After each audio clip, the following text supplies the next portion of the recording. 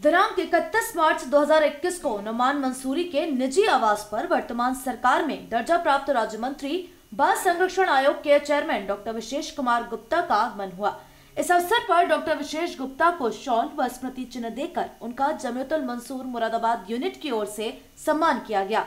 इस मौके पर मंत्री महोदय से जमियतुल मंसूर के पदाधिकारियों ने और हैंडीक्राफ्ट डेवलपमेंट सोसाइटी के पदाधिकारियों ने अलग अलग मुद्दों पर चर्चा की।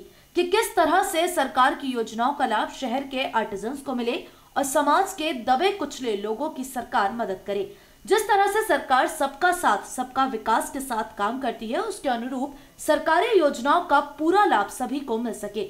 इस मौके पर जमीयतुल मंसूर के जिलाध्यक्ष तस्लीम मंसूरी महानगर अध्यक्ष डॉक्टर अयूब मंसूरी, जिला महासचिव वसीम मंसूरी एडवोकेट महानगर महासचिव एहतशाम मंसूरी, आज़म मंसूरी, हाजी जमील, कामिल चिश्ती, नासिर मंसूरी, नजीर मंसूरी, वाजिद मंसूरी, नाजिम मंसूरी, शन्नू मंसूरी, अफसर अली, हाजी समीउल्लाह, सिकंदर अली आदि मौजूद रहे।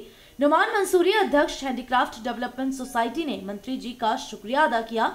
इस अवसर पर सभी लोगों ने बाल संरक्षण आयोग के अध्यक्ष डॉक्टर विशेष गुप्ता को होली की मुबारकबाद पेश की तथा गुजिया खिलाकर उनकी तवाजो की। डॉक्टर विशेष गुप्ता ने इस अवसर पर बच्चों को अपना आशीर्वाद प्रदान किया।